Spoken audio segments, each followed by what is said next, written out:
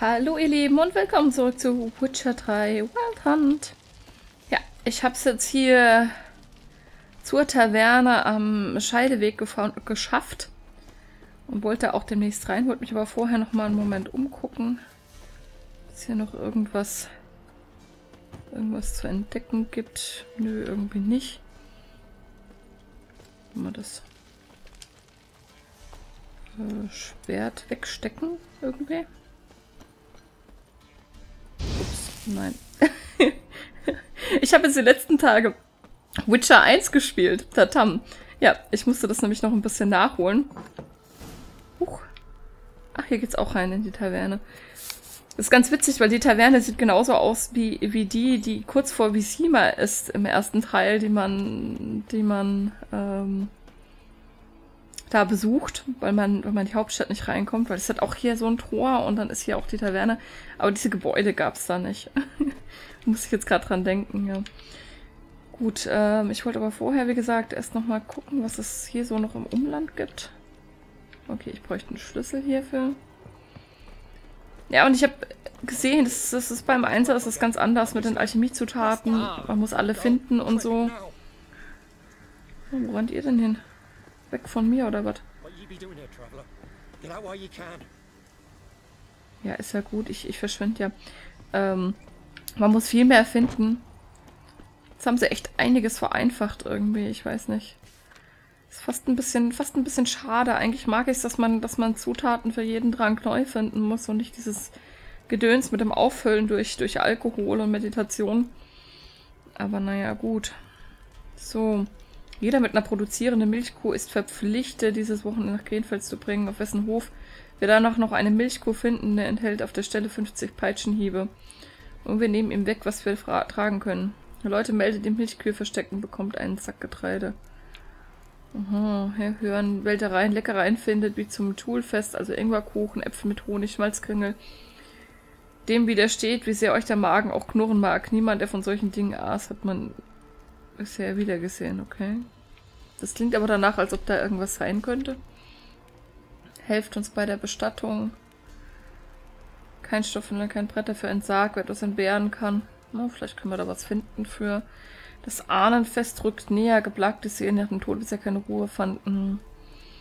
Bald werden sie unter uns wandeln, aber wir werden Masken schnitzen. Ach, nehmen wir einfach mal alles mit. Vermisst Mickel. Ja, ich habe ja den Bruder im letzten Teil nicht gesucht und irgendwie habe ich das ein bisschen bereut, weil das kann man nicht nachholen, habe ich jetzt gesehen. Das heißt, ich werde jetzt zukünftig alle Nebenquests machen, die man irgendwie machen kann.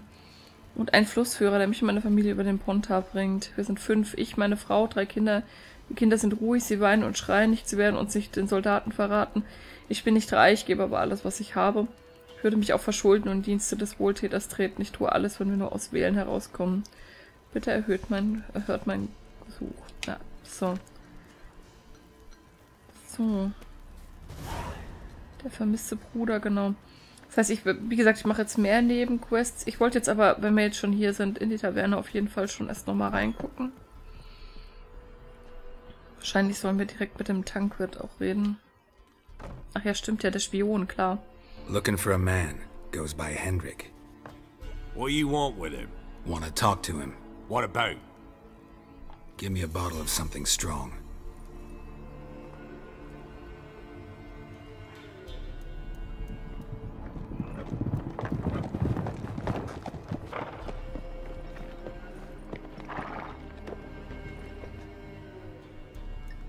You gotta go. I'll open the back way for you.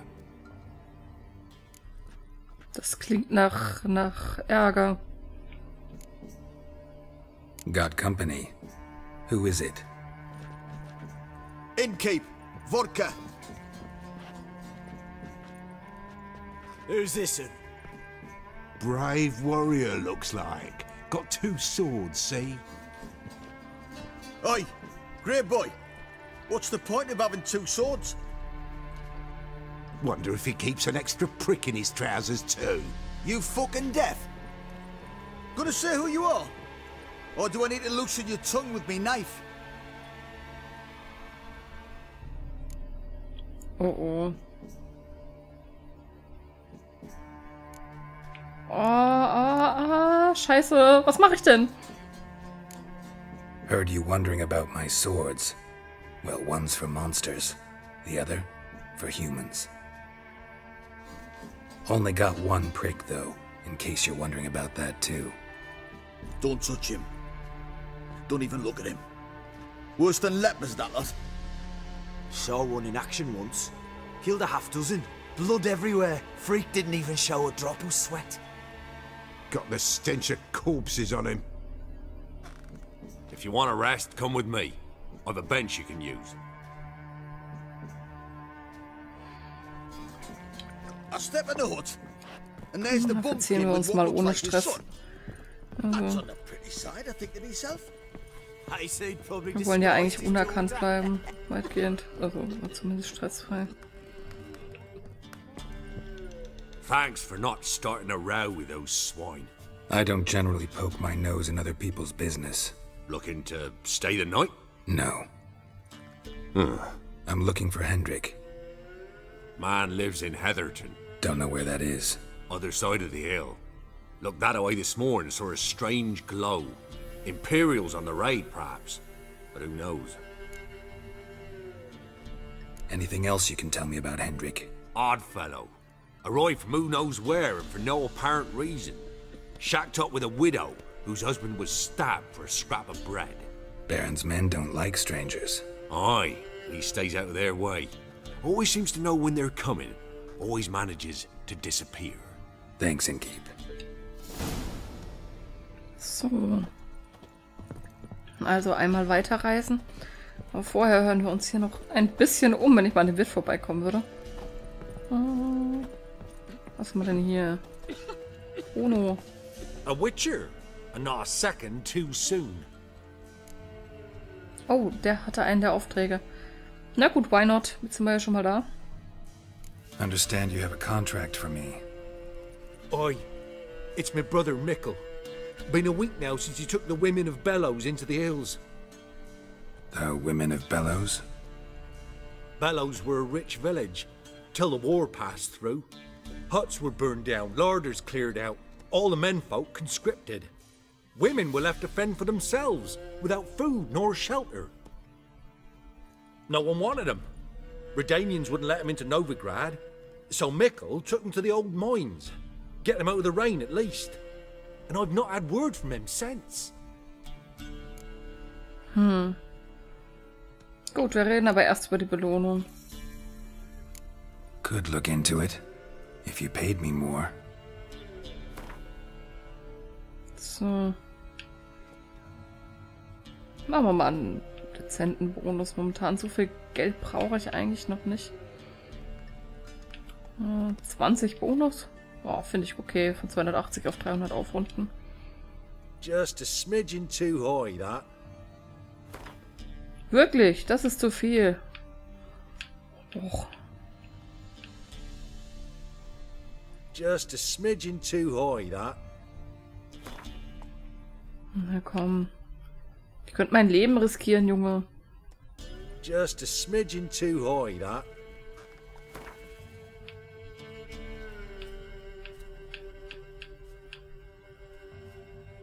Just a smidgen too high, that. Okay, dann machen wir halt den Grundbetrag. Alright, my brother's life's at stake, so I can't skimp. It's a deal. Nicht knausern? Ist das dein Ernst? na gut. All right, I'll look for your brother. How will I recognize him? Shouldn't be hard. You were the only lad in a group of women. Corpses aren't always in a condition where I can determine the sex. Corpses? Take it back. They got lost, is all. But if worst comes to worst, well, he had calfskin ankle boots, work of Master Clogs. Told him not to wear wear 'em into the hills, he'd only ruin ruin 'em. But he was so proud of of 'em. Think I know enough. Thanks. Alles klar. Und ich würde sagen, wir machen die Quests jetzt gleich am Anfang. Äh, und vorher nochmal speichern.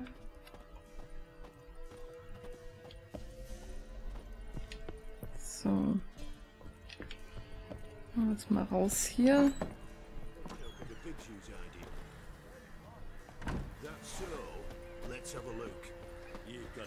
Hm, was? Was? Man kommt da nicht rein. Hm.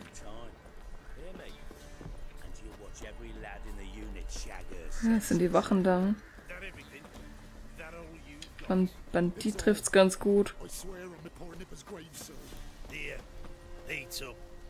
Thank you kindly. Won't be no use to anyone if you starve to death. Hm. Freundliche Banditen, die sogar Essen verteilen. Das sieht man aber auch selten. Na gut. Dann lassen wir mal schauen. Wo müssen wir denn jetzt hin? Ah ja, da hoch. Da waren wir ja quasi schon, ne? Das war das hier mit dem Übergang. Ach ja, ich habe die Fragezeichen aktiviert für die nicht erkundeten Orte. Ich hatte letztens die Diskussion mit Bundler, wo, wo, wo denn überall Fragezeichen sein sollen, weil ich dann auf der Karte überhaupt gar keine hatte. Ich hatte das irgendwie standardmäßig deaktiviert. Ähm, ich weiß aber auch noch nicht, ob ich es nicht, nicht doch wieder, wieder deaktiviere, weil irgendwie so, so Fragezeichen mh, mm, verleiten mich persönlich dazu, dass ich dann anfange, wirklich gar nicht mehr so das Spiel zu beachten, sondern, sondern einfach nur noch alles abhaken möchte. Kann ich jetzt mal bitte... Okay, ich kann nicht auf Blötze aufsitzen und Blötze mag lieber in der Taverne sein. Na dann. Hm. Ja, ich glaube, ich werde das auch jetzt gerade schnell wieder ausstellen. Äh, so, das war... Oh Gott, wo war denn das? Spiel? Tolle Nachrichten lasse ich jetzt wieder aus. Blutschweißrennen passt immer noch. Aber äh, ich glaube unter Grafik, genau, unter Anzeige. Hexe sind auf Nika nicht äh, unentdeckte interessante Orte, genau. Weg damit. So. Und da gibt's Gegner, habe ich gerade gesehen, oder? Noch ein paar Wölfe. Nicht? Na gut, dann, dann nicht. Umso besser wir müssen ja eh mal ein bisschen, bisschen los. Da ist ein, ein, oh, ein roter Totenkopf als Symbol oben drüber. Vielleicht ist der, der Auftrag auch für uns zu schwer. Ich sollte vielleicht doch noch mal gucken vorher. Das müsste unter Nebenquests zählen. Oder, ach nee, unter Hexeraufträge natürlich. Empfohlene Stufe 33. Ja, wir sind jetzt Stufe 4. Ich glaube, das ist doch nicht die beste Idee, das zu machen. okay, damit gehen wir wieder zurück in die, in die Taverne. Thema ist dann abgebrochen. Also drei, äh, Stufe 4 und Stufe 33, das beißt sich für mich doch etwas. Ich weiß, ich bin da immer ein bisschen, ich bin da eigentlich ein bisschen forsch, was das Thema angeht und es juckt mir auch in den Fingern, das zu probieren, aber nachdem ich an Stufe 10 Gegnern schon gescheitert bin, ja, vielleicht nicht die beste Idee. Hm. Great change. So, ähm, ich wollte eigentlich noch fragen, ob der Quint spielt. Das tut er aber gar nicht. Oh, wir könnten noch ein bisschen was über den Baron in Erfahrung bringen. Bloody Baron. How do you get that moniker? There a story to it? A time ago, when he was still in the army, some Blackens had holed up in a dye works. Baron and his men were ordered to take it. Others might have bided their time, starved him out, but the Baron's an hasty one attacked straight away. The Blackens surrendered. Baron and his men took most of them alive. But one of his blokes knocked over a vat of red dye. It all ran into the river. Folk took to saying that the river flowed red with blood. That the Baron had slaughtered his prisoners to a man. Been known as the Bloody Baron ever since. Kind of ironic. Well, a week before, It massacred a whole squadron in Ingholm. But far fewer heard that story. ja, das ist witzig. Naja, gut. Grausamen Ruf, den er quasi verdient hat, aber äh, nicht von der Aktion. Baron's not from around here, right? He's Temerian, but from other parts. Folks say he deserted along with his company. Showed up here one day with his stragglers. They'd all had enough of the wandering. So they took the old lord's castle, and the Baron became master of Crow's Perch. Reckon once the Blackens feel sure they hold the land, they'll let him keep Crow's Perch, give him a true title. Na dann. Wollen wir noch was trinken? Wouldn't mind a drink. Show me what you got. So, also mal schauen, ob ich irgendwie noch was brauchen kann. Oh, der hat Quintkarten. Hm. Wir sind ja momentan gar nicht so arm tatsächlich, ne? Aber Lagerung. Kann man die, wie genau kann man die denn angucken? Verdoppelt die Stärke aller Einheitenkarten dieser Reihe. Uh. Das wäre doch zum Beispiel schon mal nicht schlecht. Ähm. Na, enge Bindung liegt diese Karte jemand andere bin. Nee, das, das war doof. Das haben wir schon. Äh, drei zufällig ausgewählte Karten aus der Hand deines Gegners. Nee, das finde ich auch irgendwie nicht so...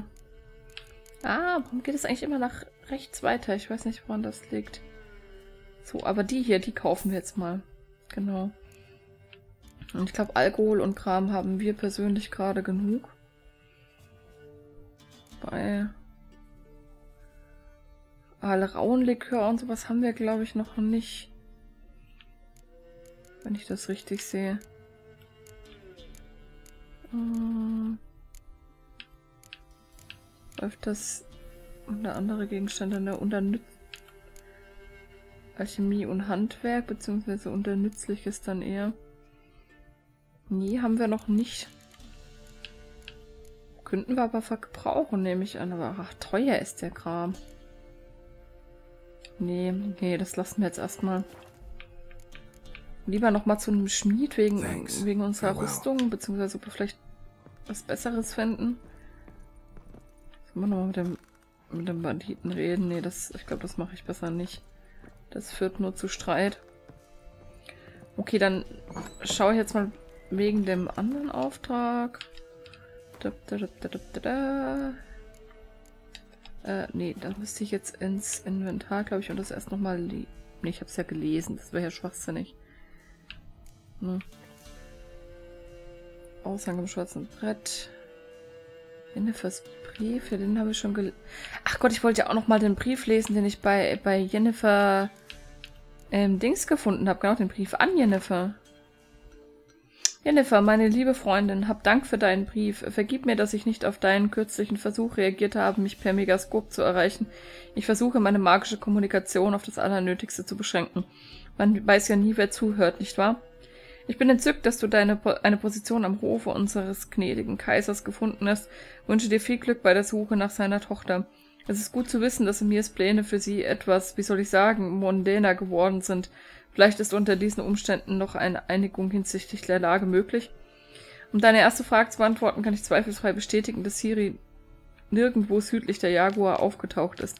Glaub mir, ihre magische Signatur würde ich im Schlaf erkennen. Ich habe lange nicht mit Triss gesprochen, ich weiß nur, dass die Lage in Novigrad sich sehr verschlimmert hat. Sie erwähnte, dass sie überlege, nach Kovir zu fliehen, doch fürchte ich, dass die aktuellen politischen Umstände dies zu einem undurchführbaren Tagtraum machen. Ich hoffe, dass ich bald in Visima zu dir stoßen kann. Zunächst jedoch muss ich mich um einige unglückliche, doch dringliche Angelegenheiten in Beauclair, Beauclair bemühen. Wärmsten Grüßen, Fringila Figo. Okay, die kenne ich noch nicht durch die Bücher, soweit bin ich noch nicht. Danke für die Neuigkeiten über Gerhard, er landet doch immer irgendwo auf den, irgendwie auf den Füßen, nicht wahr? Wahrscheinlich hatte ich mit der auch schon mal was. Also beziehungsweise Gerhard hatte mit er was. Okay, ähm... der. Das ist der. Das war der. Wo war denn der jetzt her? Okay, egal. Ähm, eigentlich wollte ich nochmal wegen dem Auftrag gucken, mit dem ich da jetzt sprechen muss. Teufel beim Brunnen, den habe ich doch schon längst. Den habe ich doch schon längst erledigt. Den könnte ich eigentlich mal wegwerfen oder verkaufen. Vielleicht, dass man das ja, ja, vermisst Mika, Mika, aber da war doch noch irgendwas anderes, oder? Das mit dem, mit dem übers Ufer führen. Na gut. Scheinbar nicht. Wir können aber hier nochmal schauen. Wildes Herz, wenn Geld durch die schattigen namens Nilenhilfe gefallen. Wo habe ich denn das her?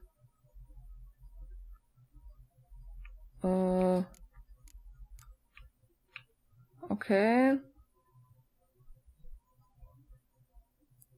Falsche Papiere. Ach so, das, das habe ich schon gesehen, aber das hier, empfohlen Stufe 7, können wir machen. Es ist grün markiert. Finde ich gut. Mal nur schauen, wie weit ist denn das weg und vor allen Dingen wo. Äh, au, ganz da unten.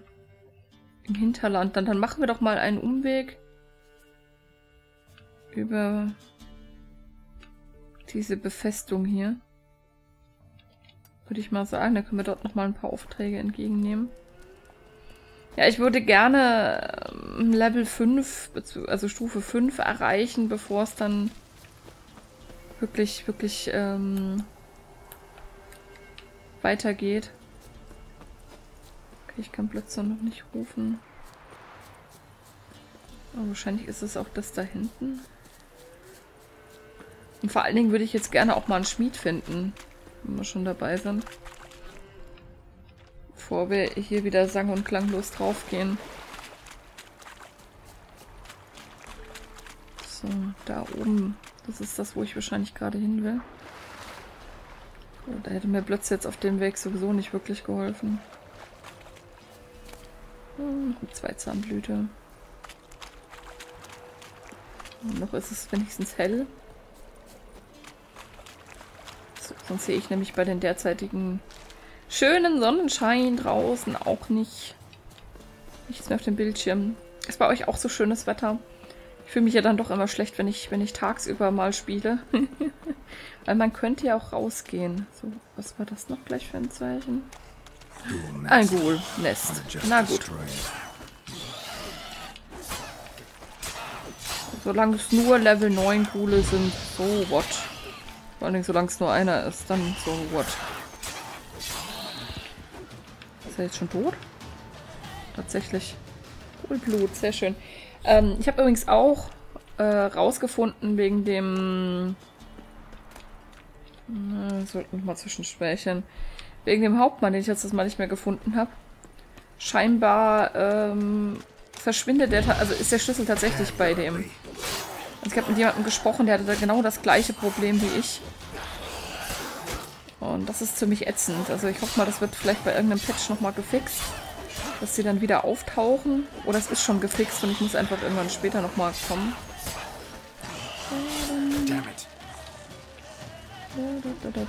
Oh, jetzt ist mein Schwert auch noch rot. Äh, er verzieht sich gerade, das soll sich nicht verziehen.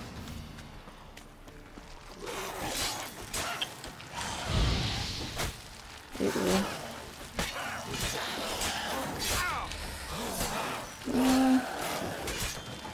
Vielleicht sollten wir doch nochmal einen Trank nehmen.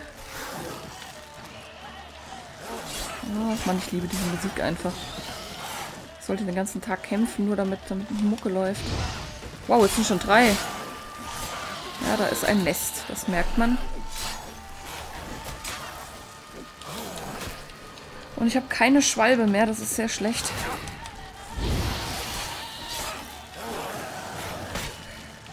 Vor allen Dingen zwei ist schlecht. Zwei ist super schlecht. Passt das ja, wenn einer hinter mir ist. Ja, genau deshalb. Aber ich glaube, sie sind machbar. Das sage ich ja immer und dann sterbe ich. Nein, nein, nein, nein, nein. Pumpen habe ich halt leider auch keine mehr. So kommt ihr mir nicht davon.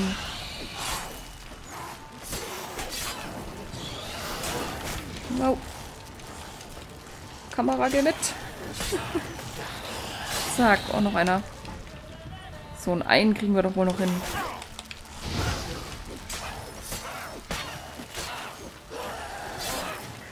Wenn der sich nicht heilen würde. So. Sehr schön, das hat sogar auf Anhieb funktioniert. Ich fasse es nicht. Irgendwas habe ich richtig gemacht. So, spreche habe ich gerade davon gesprochen, dass es hell wird und schon fängt es an zu gewittern. Dieses Wetter. Monsterohr, na dann. Mal schauen. nest. Ought to just destroy it. Ja, ich weiß noch nicht ganz, wofür ich das jetzt brauche. Äh, wie ich das zerstöre. Okay, wahrscheinlich. Ich glaube, das war mit einer Bombe. Oh, auf der Seite. Kohle. Hm, hat der Sturm... Ja, ja, du musst es zerstören. Ich hab's verstanden, Geralt. Man fragt sich jetzt nur mal, wie. Hm. Ich will gerade noch mal ins Inventar gucken. Das ist ja Alchemie. Welche, welche dieser Bomben war denn dafür geeignet? Zerstört Monsterneste. Perfekt. Das können wir doch mal herstellen. So. Und dann kann ich mal hier ausrüsten.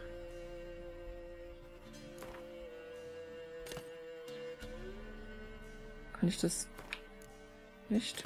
Doch, kann ich so. Und jetzt können wir hier Blended Gegner. Okay. Merken wir uns das? Kann ich aber nicht. Also ich muss es quasi treffen. Ghoul nest. Ought to just destroy Aber- it. Das hier ist das Coolnest, oder? Ja.